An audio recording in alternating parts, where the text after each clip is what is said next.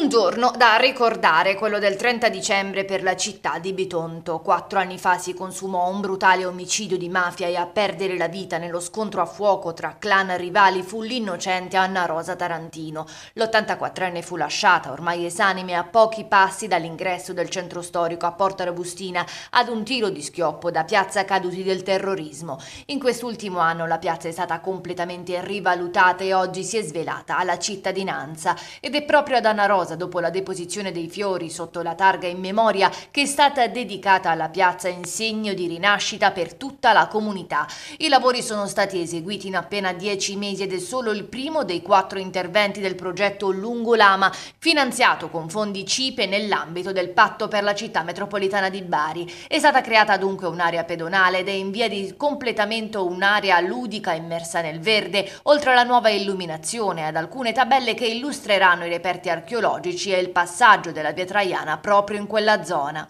Sì, era un impegno che avevamo preso con i residenti di concludere entro fine anno almeno l'apertura della piazza. È stato bello farlo nel giorno in cui avremo comunque ricordato Anna Rosa Tarantino la sua memoria. Qui abbiamo, non abbiamo fatto altro che creare un'area pedonale eh, collegandola ai beni storici principali della piazza, c'è anche una chiesetta medievale del 1600 perfettamente recuperata e c'è un solco anche della, che ripercorre via Traiana che abbiamo lasciato, una via Traiana che adesso non, non c'è più. Eh, pensare che a due passi di qui si è consumato quell'assurdo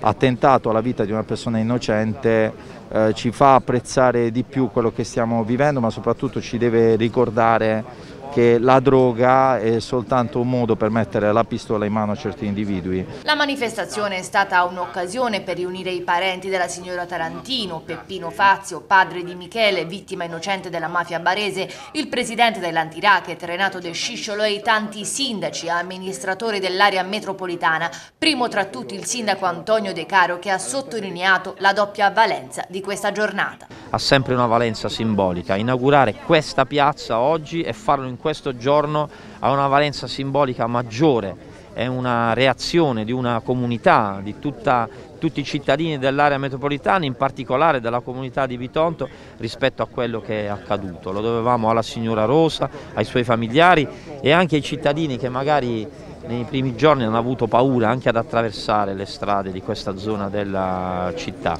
Inaugurare questa piazza oggi eh, significa che la comunità di Bitonto non ha girato la testa dall'altro lato, la comunità di Bitonto ha alzato la testa, ha reagito, è un modo per tutti noi di reagire alla criminalità organizzata. Oggi non stiamo risolvendo il problema della criminalità organizzata di Bitonto e nemmeno dell'area metropolitana di Bari, però stiamo dando un segnale preciso a quelle persone dove loro portano il marcio dei loro affari sporchi, noi qui portiamo i bambini a giocare, portiamo le persone che loro magari vorrebbero chiuse in casa, invece le persone vengono qui in questa piazza, in questo luogo di aggregazione dove le persone fanno comunità, si tengono per mano e diventano una comunità più forte che può reagire alla criminalità organizzata.